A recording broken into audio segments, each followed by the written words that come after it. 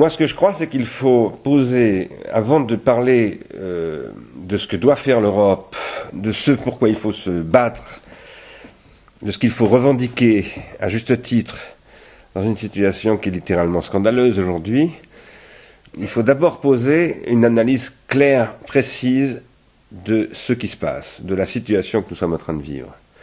Bien entendu, tout le monde sait, je crois que tout le monde, tout le monde l'admet, même Sarkozy l'admettait, que nous subissons euh, des marchés spéculatifs financiers qui, qui, surexploitent la misère du monde et que l'Europe euh, s'est complètement euh, aliénée à ce dispositif, qu'il faut remettre ces, ces dispositifs-là en cause radicalement. Tout ça, nous le savons. Mais, et, je, je, dirais que presque tout le monde est d'accord là-dessus. À la limite, Angela Merkel aussi est d'accord avec ça.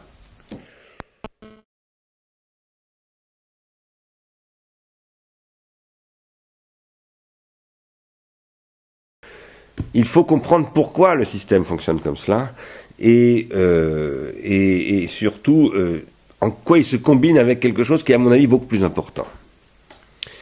En fait, ce système fonctionne comme ça parce que euh, ce système est l'issue, c'est-à-dire la fin en réalité, l'épuisement, la disparition d'un système qui s'est constitué il y a un siècle, précisément en 1900, 1910, 1911, 1912 qu'on a appelé d'abord le Fordisme, puis euh, euh, l'État-providence, puis, c'est-à-dire le New Deal aussi, le Welfare State, puis euh, le, consumérisme, la, société de consommation. Ce modèle-là, qui s'est développé et qui a fonctionné, on, on, a pu le combattre, c'était mon cas, il y a déjà fort longtemps, mais en tout cas, il fonctionnait, c'est-à-dire qu'il n'y a aucun doute qu'il organisait de la redistribution, qu'il donnait du travail aux gens, etc., etc., et qu'il a objectivement conduit à une amélioration de la situation de beaucoup de monde, peut-être au prix de de l'aggravation d'autres personnes, cela dit, de la situation d'autres personnes. Enfin, quoi qu'il en soit, ce système a fonctionné. Et puis il a commencé à dysfonctionner. Et euh, en dysfonctionnant, il a commencé à produire euh, de l'insolvabilité. Mais cette insolvabilité, qui était systémique, c'est-à-dire qui faisait qu'à un moment donné, euh, et en particulier les consommateurs, cette insolvabilité, il fallait la dissimuler. Et c'est pour ça que le capitalisme est devenu spéculatif et s'est mis à fonctionner avec les subprimes, etc., etc. Il s'est mis à produire non plus du profit, mais de la spéculation ce qui n'est pas du tout la même chose. Il ne faisait pas du profit en tant que ce qu'on appelle du retour sur investissement, mais il produisait du, de, des bénéfices exclusivement spéculatifs, c'est-à-dire en détruisant l'investissement et en détruisant la société, en détruisant les ressources, en détruisant euh, les équilibres psychiques des individus, etc. Aujourd'hui, ce modèle arrive à son terme, et c'est ça le sujet fondamental parce que nous sommes en train de vivre un changement de système technique. Prendre en compte les systèmes techniques, c'est absolument essentiel. C'est un des grands enseignements de Marx et d'Engels, d'ailleurs au XIXe siècle, d'avoir montré que pour penser l'économie politique, il faut d'abord penser la technique. Il faut d'abord penser ce qu'ils appelaient les moyens de production. Ces moyens de production ont profondément changé. Euh, précisément, ils ne correspondent plus. D'abord, ce ne sont pas simplement des moyens de production. Euh, ils sont beaucoup plus que des moyens, ils produisent des finalités, ils constituent nos modes de vie, nos existences, ils se substituent à nos organisations traditionnelles, et par ailleurs, ils ne sont plus du tout du, type de ce que Marx et Engels avaient pu connaître. Déjà, Marx et Engels n'ont pas connu les médias de masse, qui étaient caractéristiques du XXe siècle et du consumérisme. Et je ne pense pas qu'ils les aient imaginés. Mais ce que nous vivons aujourd'hui avec euh, ce qui se produit avec l'apparition du numérique, ça, Marx et Engels ne pouvaient pas le prévoir. Or, c'est cela qui fait qu'il est aujourd'hui possible non seulement d'exiger de l'Europe qu'elle lutte contre les marchés financiers et, leur fonctionnement spéculatif, qu'elle limite euh, leur possibilité d'action toxique contre la souveraineté des peuples et des, et des nations et des, et des grandes entités politiques comme l'Union européenne elle-même, etc., etc. Il faut évidemment faire tout cela et nous allons, nous faisons à Ars Industrialis des propositions concrètes sur ce point-là. Mais il faut surtout rouvrir les perspectives d'investissement. Et quand je dis rouvrir des perspectives d'investissement, je veux dire par là que la vraie question par rapport à la spéculation, pour empêcher la spéculation, c'est de créer des perspectives d'investissement. Il y a quelques années, avec euh, Arnaud Delépine, nous avons rencontré Michel Aglietta, qui est un économiste spécialiste d'économie financière, qui nous a expliqué, c'était il y a trois ans ou quatre ans, je crois que c'était avant la crise de 2008, qui nous a expliqué que aujourd'hui des, fonds euh, souverains, comme le fonds du pétrole, par exemple en Norvège, vont sur les marchés spéculatifs parce qu'il manque de perspectives d'investissement. Ce sont les gestionnaires de ces fonds voudraient aller sur l'investissement, mais en fait ils ne voient pas de projet d'investissement. des projets d'investissement et de les solvabiliser, c'est-à-dire, qu'est-ce que ça veut dire les solvabiliser? Ça veut dire créer les conditions d'une mobilisation d'un continent de presque 400 millions d'habitants qui est le plus solvable au monde, qui est le mieux protégé du point de vue euh, de la santé, du point de vue social, qui est le mieux constitué sur le plan d'éducation, etc., etc., de créer les conditions pour que des investissements industriels qui n'ont pas de solvabilité à court terme trouvent cette solvabilité à moyen et long terme, c'est-à-dire, euh, disons, entre, dans les, dans les, entre 5 et 15 années qui viennent. C'est ça que l'Europe doit faire. Et ça, évidemment, ça suppose une analyse du nouveau système technologique et du nouveau modèle industriel qu'il requiert. Quand je parle de nouveau modèle industriel, ce que je veux dire, c'est que au XIXe siècle, il y a eu un modèle technologique, un système technique qui reposait essentiellement sur ce qu'on appelait le machinisme industriel, c'est-à-dire la captation de la force thermodynamique, d'abord de la machine à vapeur, puis euh, de la machine à combustion interne à explosion, puis de l'électricité, qui n'est pas une force thermodynamique à proprement parler, mais qui est une force énergétique, c'est la mobilisation des machines mettant en œuvre de l'énergie fossile ou autre, et qui permet de remplacer des êtres humains, y compris en leur détruisant leur savoir. C'est ce que Marx et Engels décrivent comme ce qu'ils appellent la prolétarisation. Au XXe siècle, d'autres technologies sont apparues, qui sont en fait une combinaison entre le pétrole, qu'on découvre en Amérique du Nord et qui est à l'origine du lancement de Morgan, puis Ford, la grande industrie automobile, c'est-à-dire la nouvelle métallurgie qui se combine avec Frédéric Taylor, c'est-à-dire l'augmentation de la productivité à travers non plus simplement la division industrielle du travail, mais le travail à la chaîne, c'est-à-dire l'hyperprolétarisation, qui produira ce qu'on appelle les ouvriers spécialisés, et les médias de masse qui vont permettre de créer des très grands marchés et de vendre, de faire vendre et de monter le modèle consumériste, où même les OS pourront acheter des automobiles, même les OS. Je dirais même surtout les OS, parce qu'au départ, euh, le but de Henry Ford, c'est, en créant cette figure du travailleur archi-prolétarisé, c'est aussi d'augmenter sa ressource pour qu'il puisse acheter ce qu'il produit, et donc de créer un marché de masse. Média de masse égale marché de masse. Ce n'était pas du tout le cas au XIXe siècle. Maintenant, ce modèle est devenu toxique pour mille raisons que je n'ai pas analysées ici. Euh, outre qu'il pollue, il est, il est autodestructeur, en particulier parce qu'il produit ce que Schumpeter appelait une destruction créatrice qui est devenue en fait une destruction destructrice. Schumpeter disait L'innovation industrielle détruit des, emplois, des usines, etc., mais crée de nouveaux emplois et de nouvelles usines, et plus d'emplois que, ce qu'il a détruit, plus de, biens que ce qu'il a détruit.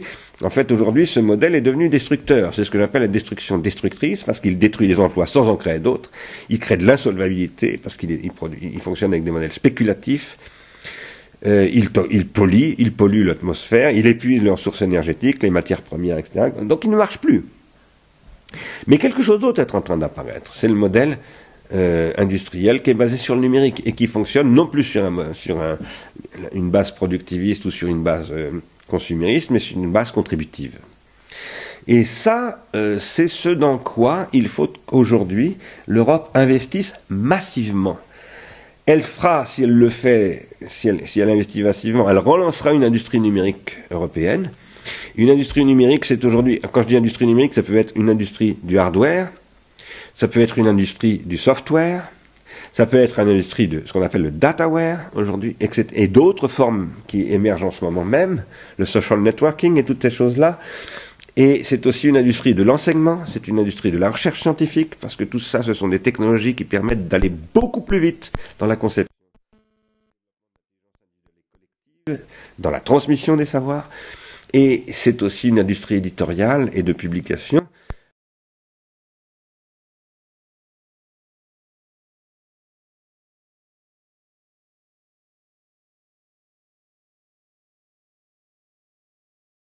D'autres modèles euh, d'industrie contributive qui peuvent s'articuler avec des modèles de production énergétique, avec des modèles de production manufacturière basés sur les nouveaux, nouveaux dispositifs de production qu'on appelle les Fab Labs, etc., etc., dont Simon Nassel parle dans son film d'ailleurs. Et euh, tout cela, eh bien, c'est l'avenir industriel, c'est l'avenir de la planète. en termes d'énergie, en termes de matière, etc. Euh, ça se repose sur une relocalisation de la production, donc sur une diminution des coûts de transport, de, tout le gaspillage énorme qu'induit la mondialisation. Euh, et, ça repose aussi sur une, une comment dire, une re-responsabilisation des individus, une reconquête de ce que Amartya Sen appelle les capacités, autrement dit les savoirs, les, savoir-faire, les, capacités de travail, euh, etc. Alors maintenant, pour mettre en place une telle politique, ce qui est tout à fait possible aujourd'hui. Il y a tout à fait les compétences pour cela, en particulier en Europe d'ailleurs, où l'Europe est quand même un des grands fournisseurs, notamment la France.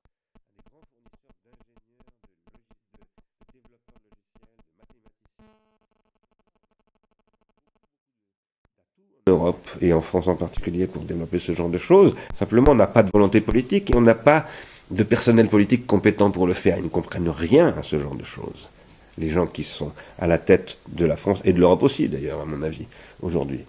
Et c'est bien dommage. Mais euh, pour faire cela, il faut mettre en place une politique de transition, ce que j'appelle une politique et une économie de transition. Parce que de toute évidence, ce nouveau modèle industriel, aujourd'hui, n'est pas solvable. Il l'est pour certains, dans certaines situations. Il l'est par exemple pour Google, qui est l'entreprise la plus profitable du monde. 40 milliards de dollars de cash disponibles aujourd'hui pour Google, après dix ans d'existence, c'est absolument colossal. Et, ça va ça va augmenter parce que Google, depuis, très, depuis les dernières années, fait une captation énorme de recettes publicitaires. Et donc, le trésor de Google va énormément augmenter. Donc c'est tout à fait solvable cette économie. Alors je dirais pas que c'est l'économie googlienne euh, que doit mettre en œuvre euh, l'Europe, ça je ne crois pas du tout. Mais en revanche, elle doit s'inspirer de ce modèle googlien qui est hybride d'ailleurs, qui est pour une partie euh, basé sur le modèle consumériste, pour une autre partie basée sur le modèle contributif. Ce que l'Europe doit faire, c'est un modèle purement contributif.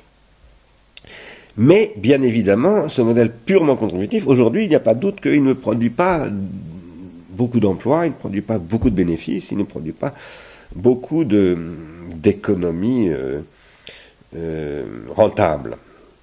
Il ne le produira qu'en montant en puissance, tout comme Henry Ford, lorsqu'il a créé ses premières usines à la fin des années 1900, 1900 entre 1908 et 1912, et son modèle n'était évidemment pas rentable et solvable.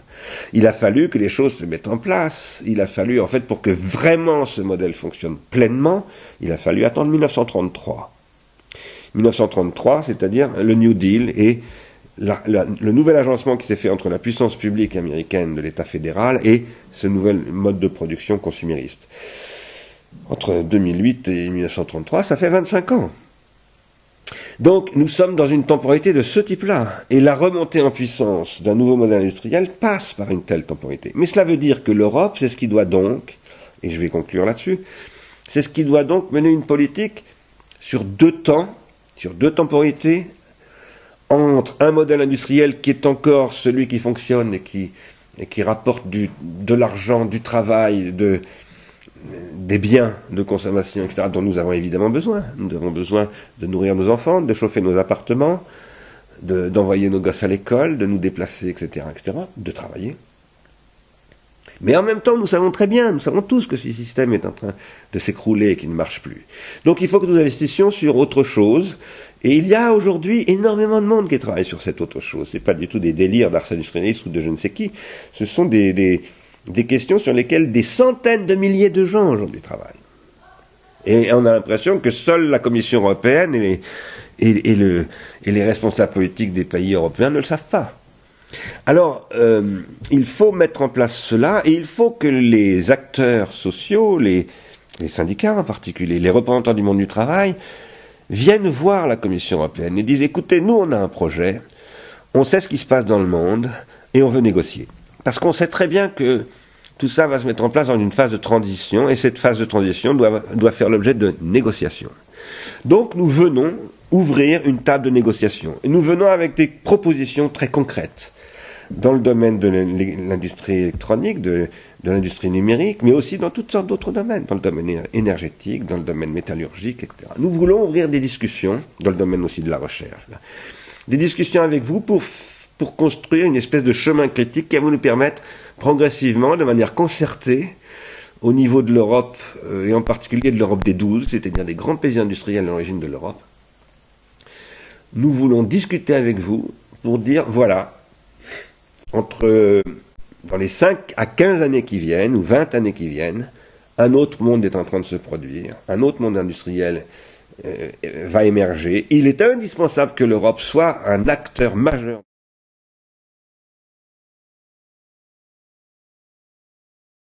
De cet acteur européen qui vont euh, vous faire des propositions.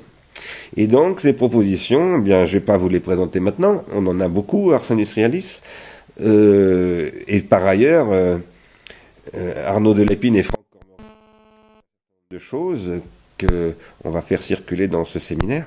Mais nous, nous proposons au Forum social, à cette communauté qui représente le monde du travail et dont nous sommes foncièrement solidaires, nous proposons que ce monde du travail change de position, qu'il prenne une position très offensive, qu'il devienne une force de proposition, parce qu'il en a tout à fait les moyens, et c'est ce qui se produit en ce moment euh, au niveau européen et planétaire, lui en donne plus que jamais l'opportunité.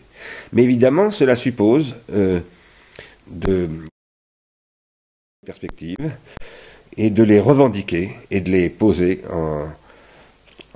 sur la table d'une discussion qu'il faut ouvrir avec euh, les responsables de l'Union européenne. Voilà.